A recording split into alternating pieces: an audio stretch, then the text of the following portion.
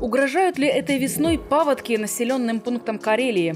15 населенных пунктов в 9 муниципальных районах. Это 98 домов, это 310 э, человек, в том числе один детей, могут попасть под э, воздействие весенних паводков.